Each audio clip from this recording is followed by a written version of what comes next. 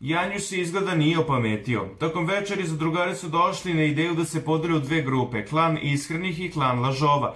Ukućeni su jedan po jedan odgovarali na pitanje lepog Mića i na kraju su učesnici glasali i birali da li su njihovi cimeri iskreni.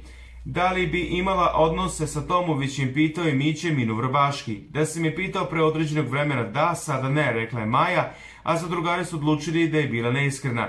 Da li smatraš da je Jelena iskrena prema tebi? Glasilo je pitanje za Ivanu Šopić. Ne, odgovorila je Ivana, a zadrugari su odlučili da je bila iskrena.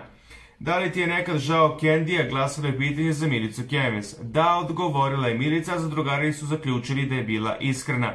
Iskreno mišljenje u Šopićevu i Janjuši da li su prešli granicu, upitao je Mića Vladimira Tomovića. Šopićeva nije svesna koliki je Janjuš zavodnik, gde on muškarac. Ivana nije svesna da je Janjuš u braku. On shvata sve to. Ko shvata, shvata, ko ne, ne, odgovorio je Tomović i zadrugari su se složili da je njegov odgovor istinit.